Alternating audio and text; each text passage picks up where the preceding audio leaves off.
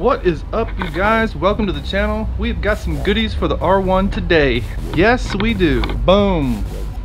Some new prophylactics for the wheels. And yes, if I look tired, that's because I just woke up. And the wife cooked me some wonderful pancakes. Thank you, honey. You are the greatest. I'm feeling rather full. So as you can see, I already have the R1 up on the stands, both front and rear.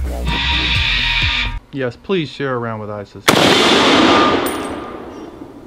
So this is what I'm talking about. As you can see, I don't know if the camera's picking this up at all. Very bad profile here, especially the rear. As you can see, the rear tire is just not looking good at all. So this also being the tire that was on the dyno, Brian told me you need to get another tire. Eh, I kind of didn't listen for like two rides, I guess. I had one person ask me, how do I get the camera affixed to me when I'm working on the bike? You see this? I literally just wrap it around my neck. So this one goes down here to keep it from falling around and then this, these two I just kind of wrap around my neck and it doesn't fall off. So there you go. So I decided to go with the tires that originally came on the bike. That was the Bridgestone Battlax RS10Gs. I've had other tires I've rode on the Q3s, I've rode on several different ones. This tire sticks better than any tire I think I've had for the street. Keep in mind, these tires are not made for high mileage at all whatsoever. Oh, those tires suck. I didn't get but 2,000 miles out of them. That's about right. You got about 2,000 miles. That's all you're supposed to get. 2,983 miles. So I got almost 3,000 out of it. I probably went a little farther than I probably should have on this rear tire.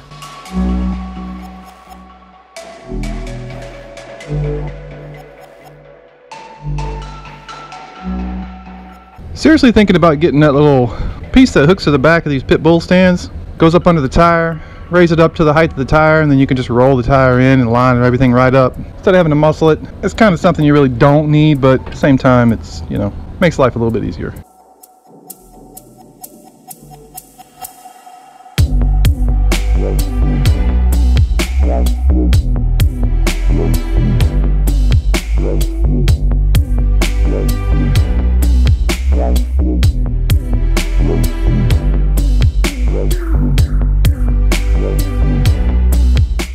Talk about making life easy. And you might say, oh wow, he's spoiled. Yeah, well, I did my fair share of fighting tires at the track and putting them on with a, couple of these things. But, you know, scars up the end of your wheel, it's not fun.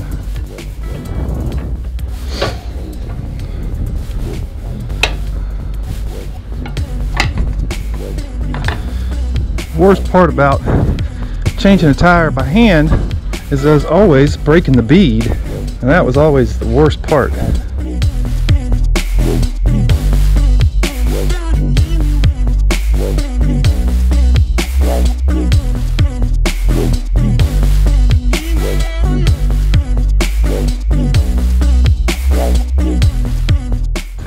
So that one's off. So and as always you need to line the yellow dot up with the valve stem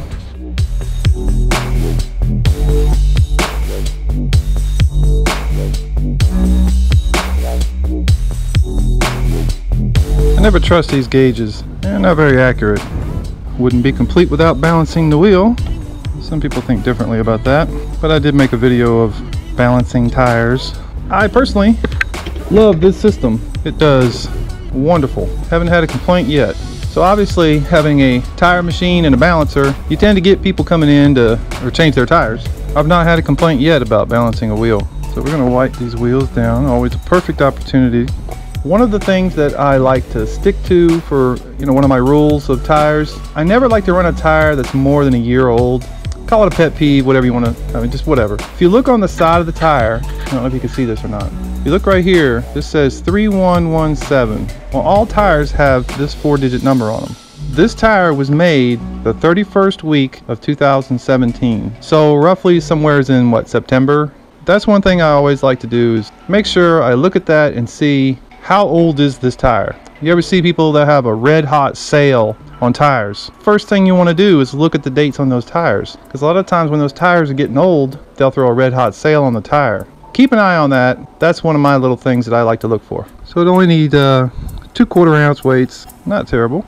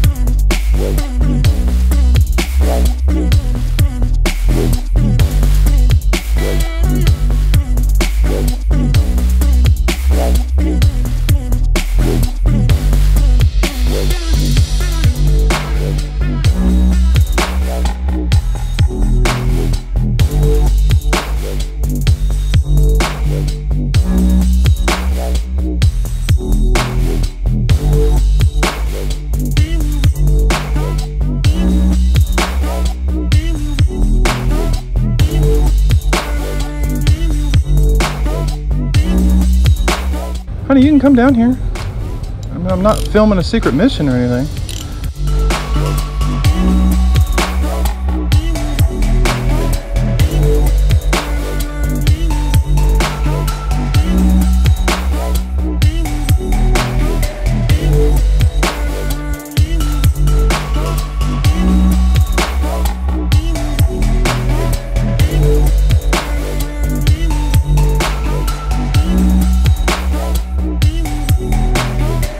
And there you have it. Brand new tires for this wonderful piece of engineering.